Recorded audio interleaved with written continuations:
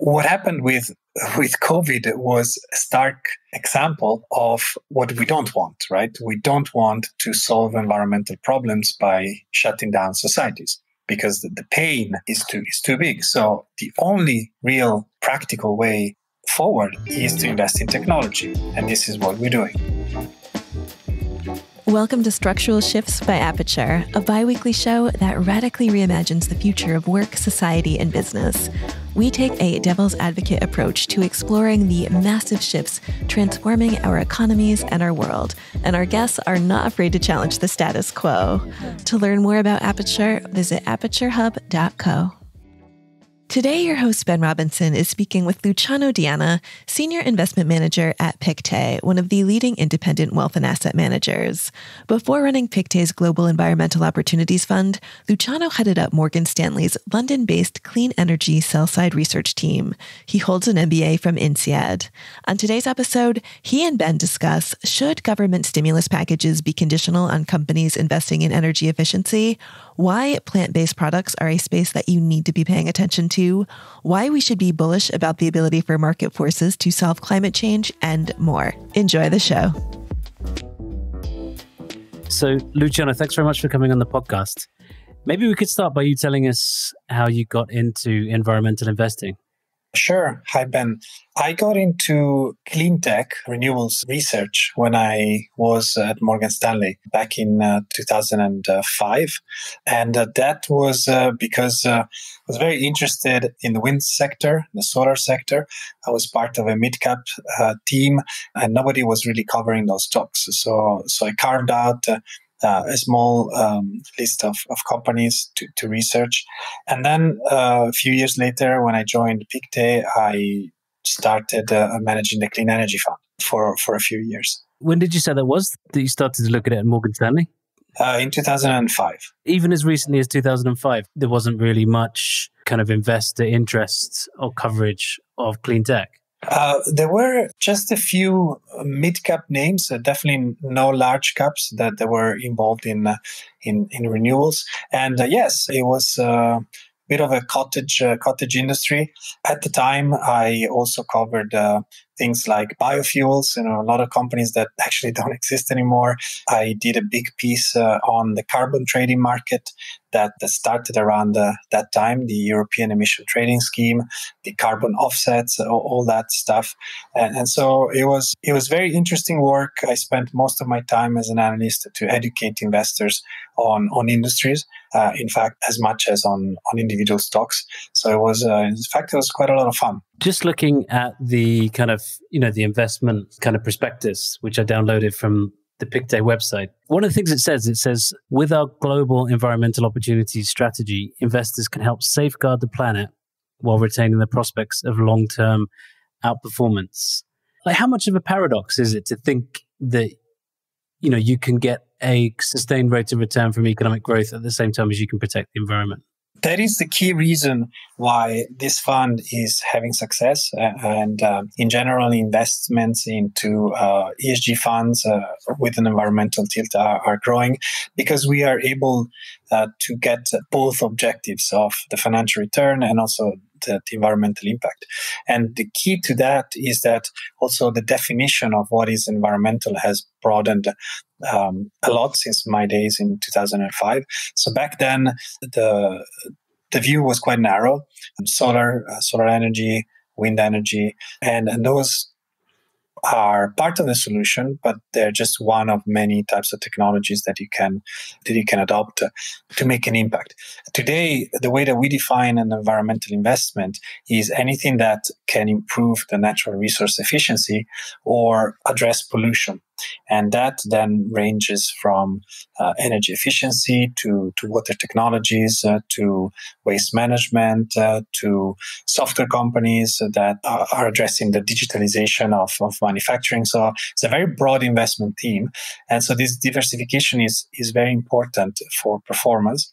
So that's, uh, that's the, that's the magic, you know, the magic formula for for our investors because we have an objective to to outperform global equities by 3 4% per year over an economic cycle. So we're not uh, aiming to, to get 10, 20% plus. Uh, volatility for, for the fund is uh, roughly in line with that of global markets. And then we also have a positive impact. So you sort of alluded to it there when you said the, when you when you listed the kinds of investments that you could make.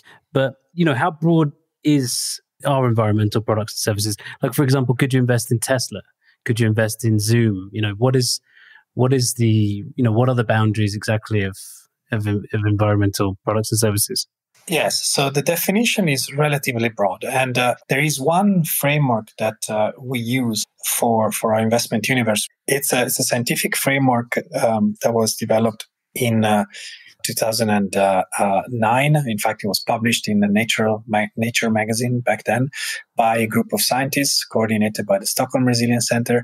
And that tells us that there's nine environmental domains that really matter. Climate change is one of them, but also biodiversity is there, the water cycle is there, chemical pollution is there, and others. And each one of these domains has, has a boundary. The scientists are telling us more or less where the boundary is, and the, the economy needs to stay within the boundaries to avoid a non-linear and unpredictable change. So uh, we first of all look for businesses that stay within the boundaries to begin with. That means that have a low environmental footprint. Uh, and that means that they are not predicated on overconsumption of natural resources to exist. That's the first step. And the second step is that we look for the solution providers among them. So it's not enough just to have a low environmental footprint. Like, for example, maybe a healthcare, healthcare company could, could have a low environmental footprint, but we also look for uh, solution providers for environment. So any solution again that addresses resource efficiency or pollution control. And if we find a company, a business that satisfies both of these conditions and that has sufficiently high proportion of its revenues in this in this uh, domain, then then we uh, consider that eligible for our universe. And in the end, we end up with 400 companies, which doesn't seem much, uh, but 400 companies that have at least 20% of their sales in some kind of environmental solution globally. And these are listed equities, by the way. So this is a clearly a listed equities fund. And, and then, so within that, you find many technologies. You mentioned Tesla, uh, for sure. Electric cars are there. Volkswagen is not although uh, BMW is not because uh, they don't do, at least today, enough electric cars. They still have a, a big legacy in combustion engines. Uh, you mentioned Zoom. Um, Zoom is part of the uh, theoretical universe, like Citrix, for example, any solution for remote working, because remote working has a, a positive impact uh, avoiding uh, avoiding uh, commuting and, and all that. And then, for example, I mentioned before software. Software is very important for us when it's uh, linked to an engineering application. We've invested in uh, virtualization software for a number of years. Um, we've invested in building information management software, things like uh, companies like Ansys and Autodesk. They would do, they really bring digitalization into the manufacturing, into the construction sector. And anytime that you digitize uh, a process, you have some kind of raw material efficiency there. Have you seen a change in the kinds of investors that invest in your fund? You know, in the back when you started it, was it? You know, I can imagine it was largely the investor base largely consisted of either funds or individuals that were interested in ESG. Would you say it's kind of gone way more mainstream now? Absolutely. So it, it, has, it is becoming more mainstream. So the fund was repositioned in 2014. So that uh, is is the key date, September 2014. Today we have roughly 3.5 billion dollars at the management. Uh, mostly it's retail and wholesale clients. We have large uh, uh, distributors uh, within private uh, wealth management organizations, fund selectors, and some institutional uh, clients as well, such as family offices and, and pension funds. So definitely uh, more mainstream and not necessarily clients that want to, to use this as a, as a satellite approach to their equity allocation, but more and more uh, as just an approach to global equities. You know, I can imagine that doing what you do sort of marries, you know, your professional interest with your personal interest, right? In the sense that, you know, we're all affected by climate change. And I think, you know, you're somebody who's very interested in, in it in, in a personal capacity as well. Would you say in general you think things are moving fast enough? They are not moving fast enough because uh, the, the challenges that we have in terms of the damage we've done to the environment and you know things like a concentration of CO2, the amount of plastic that we that we throw into the oceans, those are huge challenges. So so we can never go fast enough. But what is changed and is encouraging and it's very important for, for our theme is that the awareness on these issues has stepped up dramatically uh, over the years. Uh, so, so, when we started, we, we thought that this would happen. Uh, we thought that young people would start to uh, also uh, get angry and, and, complain about the state of affairs and how the older generation is, is treating things. And Greta Thunberg happened. So for us, it was not it's not really a coincidence. It was bound to happen at some point. That's very encouraging. We've seen how consumer preferences are changing. We're seeing how the private sector is investing. And all of this has to do with more information, more awareness. So that's the key word for us. We haven't yet reached a kind of inflection point, have we, where all these kind of nascent trends, you know, growing sort of consumer act- activism, growing corporate kind of re- responsibility, where they start to sort of compound. Would you argue we haven't reached that point yet? They are converging. I'm not sure about the compounding, uh, but they're definitely converging. So they're they're getting aligned. In most regions of the world, we, we see a very good alignment. I would uh, caveat that the United States is is a, is a special case because of the, the, current president and his policy towards environmental protection. That's the only situation where policy is going backwards instead of forward. But even there, if we take a long term view, we think that uh, eventually the direction will turn 180 degrees. And so the alignment will be pretty um, consistent across the regions. That's, that's, that's powerful. I think there's a sense of urgency. I think uh, you might have questions later about COVID and uh, and the pandemic, and you know we have almost uh, um, put entire economies to to to a halt uh, for an emergency, which had um, the, the, probability of, of being very severe in the short term. The hope is that we can mobilize also to address climate change and uh, to build more resilience in in the system. One of the challenges with climate change is that it's always there as a threat, but it's not kind of present in the same way as, say, the pandemic is, right? Where it's constantly in the headlines. It's like, you know, one day we hear about fire, you know, uh, another day we hear about a drought, but it's not kind of this all consuming, you know, headline grabbing issue that stays permanently on our consciousness.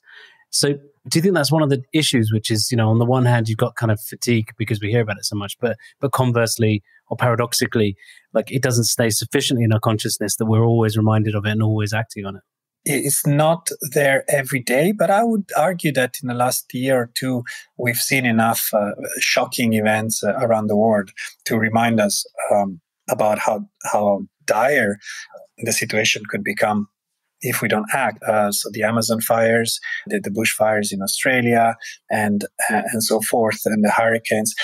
What I also would add is that it's becoming more clear um, that uh, the climate uh, health, the state of the planet, and our health are interrelated. So more and more studies linking uh, air pollution with, with deaths in different cities. Uh, even with this pandemic, uh, there is uh, an element of, of linkage there, you know, seeing that people that are weaker in, in their lungs, they, they tend to be affected more gravely by, by pandemics. There's also the argument about climate change potentially uh, favoring the, the spread of diseases. So you know, all these linkages are, are, are emerging one by one. And I think the picture is getting clearer in, in people's minds. You, you mentioned it earlier, but you know, in, in the sense that that the pandemic has accelerated digitization, I guess it's it's been helpful in you know accelerating energy efficiency. Yeah, so there's a couple of uh, dimensions there. One is the pandemic, and the other one is the current oil price. Uh, maybe I yeah. can address both of them, but but separately. So on the effect of uh, of, of COVID, indeed, uh, we are accelerating some technology trends that we were already seeing, um, we were investing in, and we think that's going to be good, right? Because uh, ultimately, the environmental footprint of society might improve if we go in that direction. That's one thing. When it comes to energy efficiency, we think that it's going to continue, but then we have to also factor in the, the price of, of oil, the price of electricity, and, and whether that's going to slow down investments in certain parts of the world. For capacity in general, we know that renewables are taking share, for example, versus fossil fuels. But we also know that due to the lower economic activity and, uh, and the pandemic, uh, the, the overall level of investments in the energy sector uh, has gone down by 20%. I think that there was a study from the EIA that was just uh, released uh, a day or two ago. So that, that has to do with a slower economy. And, and the oil price is uh, just a symptom of a slower economy. So in the short term, it might not be the case that we're going to see an acceleration, but that in our opinion, is just a temporary effect. Again, when we do thematic investing, like like we do within our fund, we tend to look at the long term. So, so a one or two year time horizon is, is too short term. We look at really three years and plus. And, and if we look at three years and plus, then for sure, energy efficiency will continue to remain very important. Well, what you, what you touched on there is one of the biggest paradoxes, right, about the environmental movement, which is, you know, the, the almost like we have to continue to consume in in order to create the incentives to be efficient. Yes, that is a very deep and philosophical question about where is uh, society naturally going to towards. And and human beings uh, they they need uh, to to reach a better state. Uh, they need they, they strive for for better economic conditions. And and therefore you know society moves in a certain way for, for more mobility more more different types of consumption. What happened with with covid was a stark example of what we don't want right? We don't want to solve environmental problems by shutting down societies because the, the pain uh, is too is too big. So the only real practical way forward is to invest in technology. And this is what we're doing is really to try and get technology to, to save the day realistically not trying to to look for for moonshots that that that don't have any chance economic chance of success potentially changing our habits a, a bit but not to the point of sometimes I say going back to the caves. Uh, yep. humanity, the genie is out of the bottle, uh, and so we cannot expect to to leave the planet alone by, by shutting down our, our, our current society. It's almost like we need to create the demand to create the you know the profit incentives for entrepreneurs to come in and develop the technology that will save us. Yes. While demand has been temporarily kind of reduced because of COVID, is it, is this the moment where do you think government should step in? Like, for example, should you know, should stimulus packages be condition conditional on on on companies investing in sort of you know energy efficiency, for example? Yes, yes. There's definitely uh, a great opportunity with uh, any crisis, and also in particular when there's huge amounts of money being being thrown at the economy. Um, not to put any conditionality would be would be really a shame. We are encouraged by what we are seeing in Europe for the moment, the 750 billion package, where a quarter of that seems to have some ties attached to it. We will see what happens in the United States. That there's also the potential for a huge Green Deal at some point in the future. And in China, definitely we're seeing the subsidies, you know, going in the right direction. What I would say though is that as investors, we don't want to overplay and over the role of governments, and we don't want to over rely on on those. Going back to the beginning of this conversation, when I was mentioning renewables back in 2005, uh, they were not yet ready as a technology. They needed a, a significant significant amount of subsidies, and therefore there was a huge volatility also in their businesses uh, when the subsidies were were changed by governments. Uh, so that lesson as investors has to be always there in the background, and that's why when we talk about technologies such as software for resource efficiency, digitalization, these technologies make economic sense.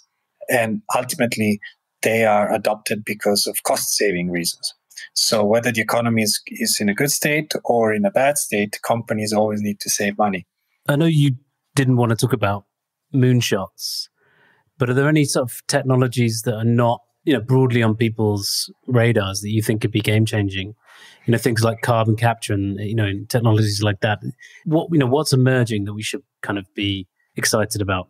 So the the carbon capture is indeed the holy grail of uh, of solving climate change, but it's still too way too far too far away for us to, to look at uh, as, as investors in public equities.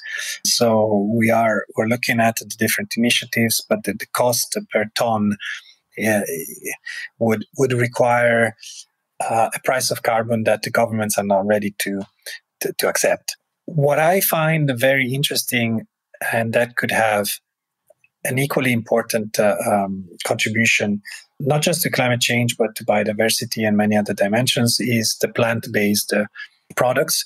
So it's an industry that pretty much didn't exist five years ago or even four years ago. and now it's out with, with some some valuable valid valid products for, for consumers.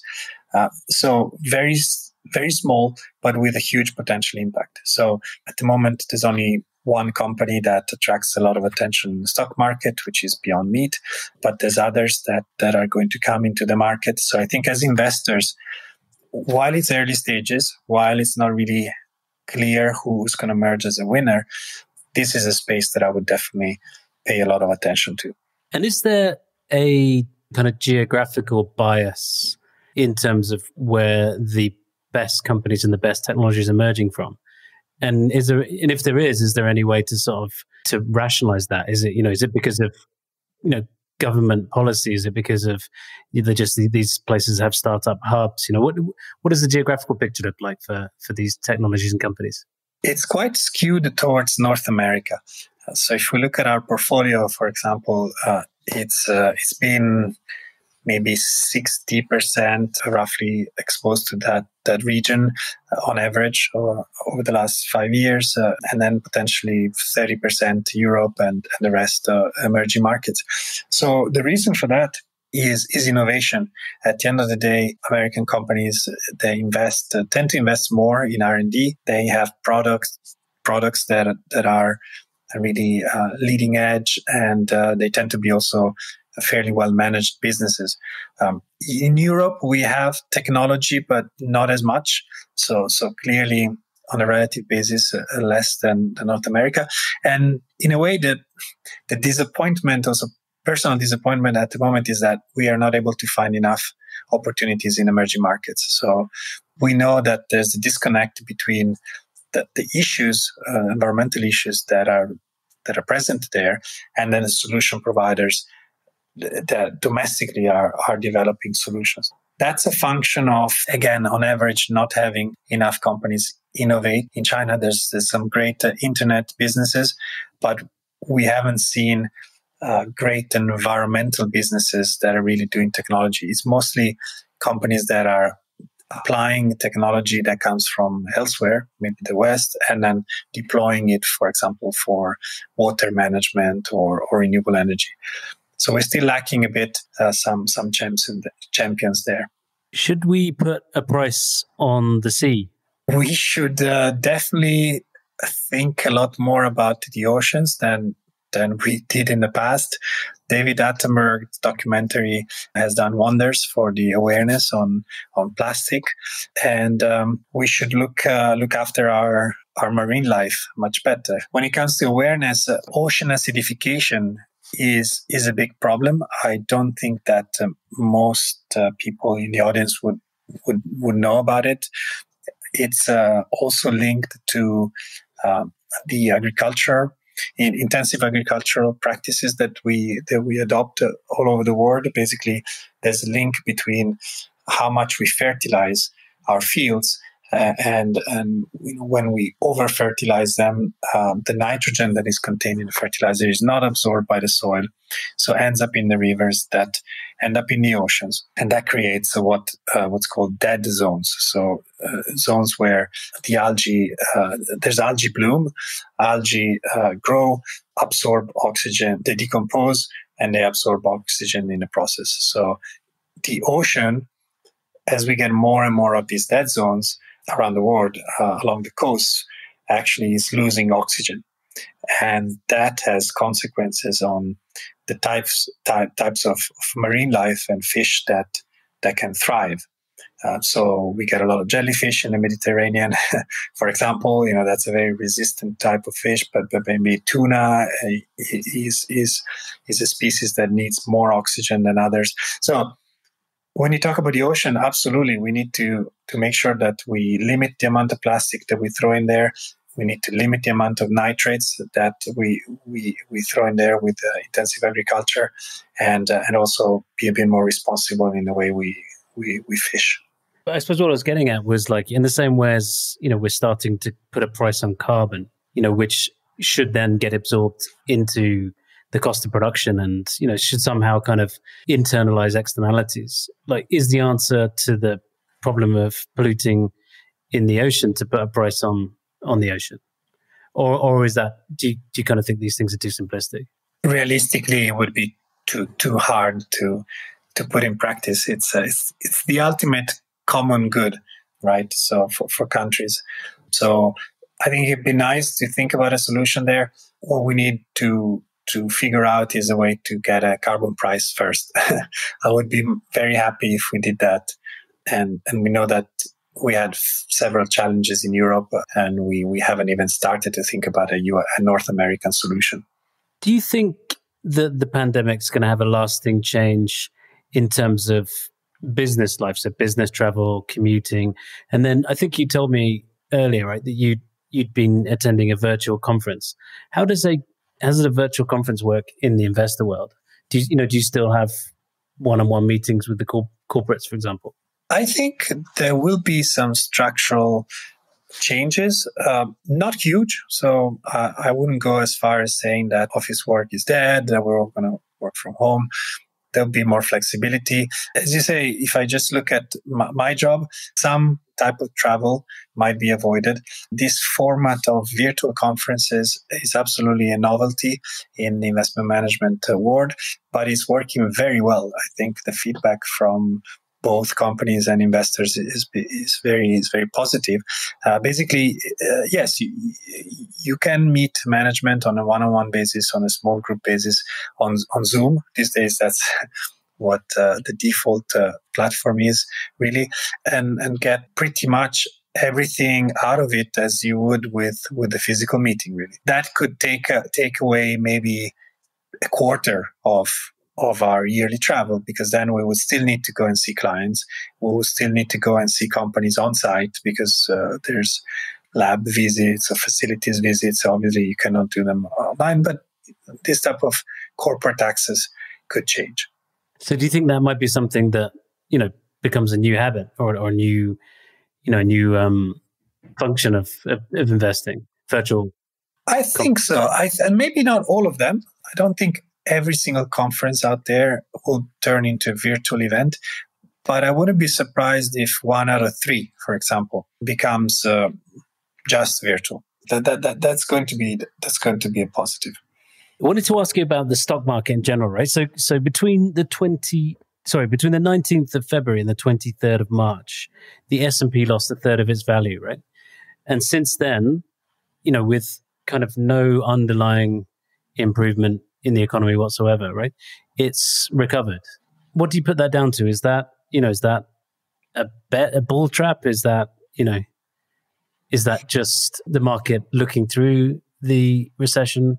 How, how do you explain where the S&P is at right now? We had uh, the perfect V shape uh, in in the market, not in economy, but in the market. We had the V shape, and and ex post, uh, we're all we're all geniuses and we all sound very smart. When you're in the thick of it, is is different story. So when when the market starts to correct, there were a huge number of question marks about the virus. And um, we don't do that anymore, but we were talking about parallels with the Spanish flu and so forth. So, so the panic on the way down, in my opinion, was, was justified by simply a complete lack of information and the unprecedented nature of, of the, of the lockdowns.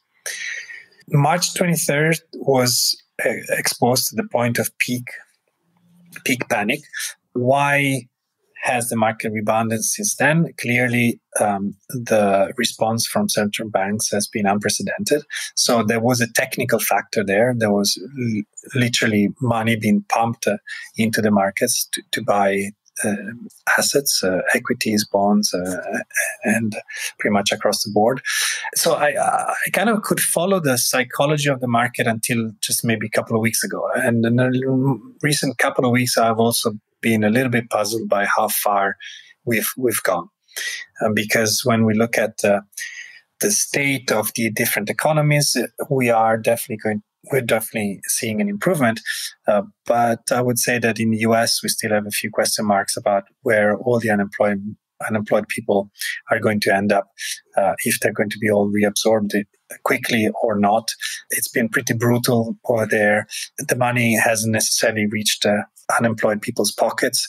It, maybe it's available on paper, but not in their bank accounts. So, you know, the effect on, on the consumer economy in the United States is still a bit of a question mark. So you could say that maybe we, the market overreacted a little bit on the way down and now it's overreacting a little bit on the way up.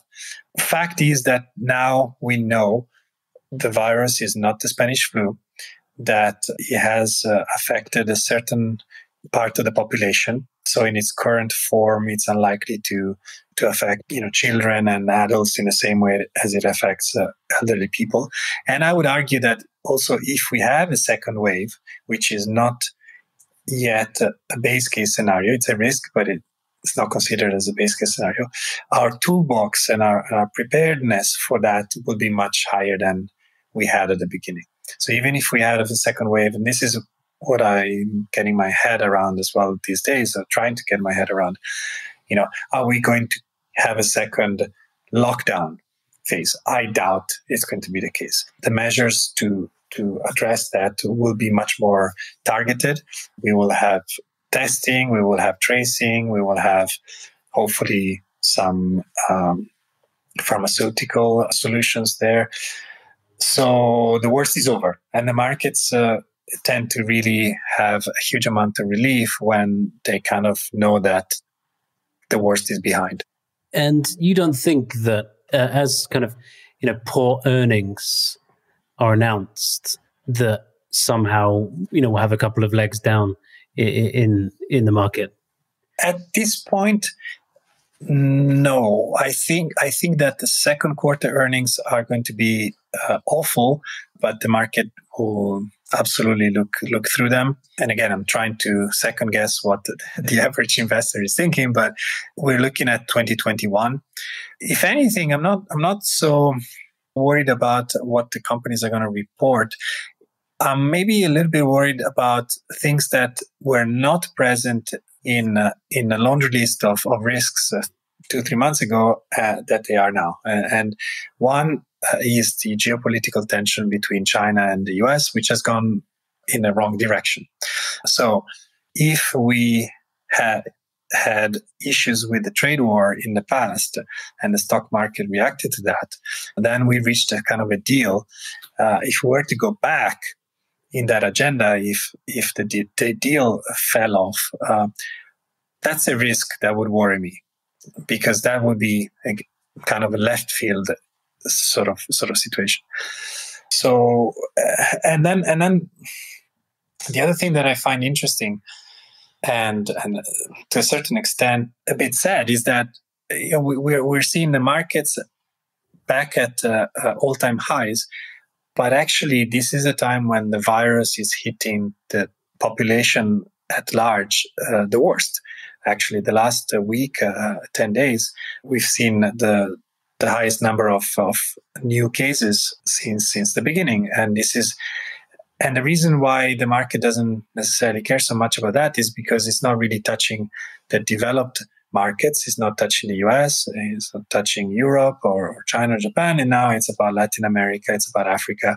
And the companies that are represented in the stock market don't have a huge exposure to that part.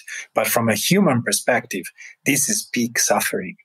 So to have the stock market uh, in an euphoric state when, you know, hundreds of thousands of people are, are getting hit for the first time by the virus is in a way a bit, uh, a bit sad, but that's what it is in, in the financial markets. Yeah, and, and, I suppose another factor is I don't know if this is the right terminology or what, but this they call it decapitalization, right? Just this idea that you know companies have been buying back more and more of their stock. Fewer and fewer mm. companies actually tend to list, such that you know like that divorce between sort of you know Main Street and Wall Street, and that divorce between developed world markets and the developing world has never been bigger, right? Because the stock market is less and less representative of of the average business. Absolutely, absolutely, and I think that was part of the knee jerk, knee jerk reaction of, of, several investors at the beginning of uh, of the drawdown in the markets.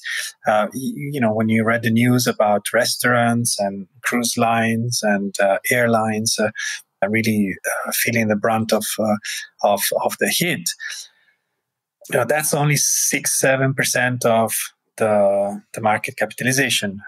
in terms of employment, is a much bigger sector so maybe 20% or so if you put everything together you know the travel industry and, and tourism but in terms of stock market capitalization much less represented.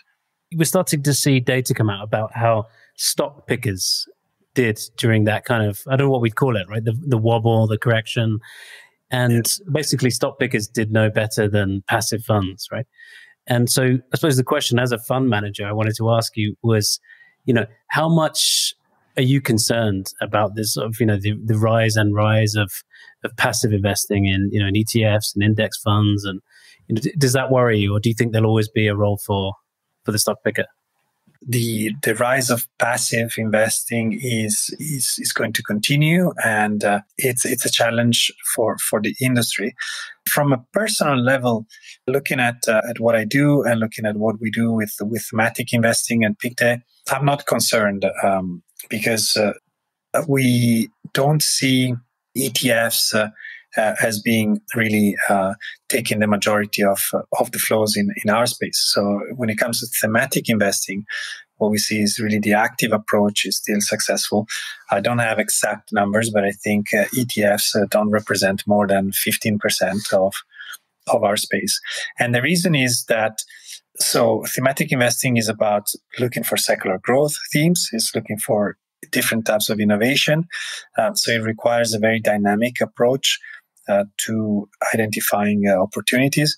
And uh, that's what uh, passive investing doesn't have uh, as much. So so an ETF tends to be more more rigid, of course. So you have certain universe, maybe once a year, the whoever manages that product does a refresh of that universe and and then keeps those stocks uh, uh, maybe rebalances them every every quarter. As an active investor, there's a lot more dynamism, and in times like uh, the drawdown, well, the, the key is to be able to take advantage of these dislocations that these situations create. So an active manager can say, I've been wanting to buy that stock for a long time. Valuation was not uh, attractive enough. I have the opportunity and then I go for it. So obviously it's it's always easier said than done but but that's the attractiveness of the active approach that you can take advantage of these situations and do you think the other big opportunity is kind of like in your old hunting ground of like smaller mid cap stocks? Because if MIFID is sort of increasing the kind of cost of, of, of covering smaller mid cap stocks, it's almost don't you think by almost by definition there there's there's kind of more arbitrage there's more you know fewer people um, looking in detail at those stocks and therefore there's kind of you know that's the that's that's the place where you can uncover real value as a as an active investor Absolutely. So that that is definitely true. MiFID two has uh, has caused a big um, change in the industry. Uh, we are seeing um, the need for more internal research. So we ourselves are beefing up our, our teams internally and and of course we, we rely less on the sell side. So that's uh, that's true. What I would have to say though, and if I look at also at my fund in particular, is that in order to tap into innovation and environmental technology, for example, in our case, we don't feel that we didn't we need to necessarily look at very small companies. In other words, we have some um, holdings in companies that are already very well established, maybe 20, 30, 40 billion of market capitalization, so pretty large. And they're the ones who are actually driving the most innovation in their respective space. So finding opportunities in small caps is definitely uh, there. Uh, what I'm saying is that is not an absolute necessity if you want to capture innovation. You can also get that from the slightly larger companies. Last question: Do you think that because what you're saying is, you know, sometimes big is better, right? And and that's the, particularly the case where you could, where you have, you know, demand and supply side economies of scale. But in general, do you think the market is good at pricing demand side economies of scale? You know, this idea that you know a product can get better and better the more people use it. And is that a possible area for, you know, for value arbitrage? It's a possibility. We don't have in our universe uh, the big platforms like like you would have so google and facebook that are not part of our universe so we don't really have examples of of that economic power but what we do see is definitely that the economic uh, moats of certain companies uh, that have a technology, they tend to get stronger and stronger every year as these companies mop up smaller competitors and they acquire them. Because then you have the, flywheel of, of good uh, free cash flow generation which allows m&a to happen. And, and so we have a, quite a lot of those stories where yeah indeed large is better because you sort of consolidated the, the industry around you. So so yes i think the answer to your question is in our opinion it pays to to focus on the innovators and, uh, and the companies that typically don't have huge capital requirements to grow. That's also another thing. Even if capital is uh, is very cheap these days, um, the, the, strongest performers that we had had have had that characteristic: high returns on capital, but with not a huge amount of capital employed. Fantastic. Can you leave us with one reason why we should be bullish about the environment and bullish about the ability for market forces to solve climate change? We should be bullish about the environment because um, we all want a, a better planet. And um, our children they will demand us to to do that for them. And their awareness uh, is is going to be uh, at a different level to, to to what we've experienced in our in our in our lives that's number one and number two is is that we have the technologies. So we don't need to look for moonshots. Uh, we have technologies that can improve things and that can lead to performance. So as investors, we can expect to have portfolios that outperform the markets, have a positive impact, and don't require us to take more volatility or, or can use as a, as a core component of our of our long term uh, investments. Perfect. Thank you so much for coming on the podcast. Thank you for having me, Ben. Thank you for listening to Structural Shifts by Aperture. To learn more about our Aperture community, visit aperturehub.co. We are strategy for the networked age. Until next time.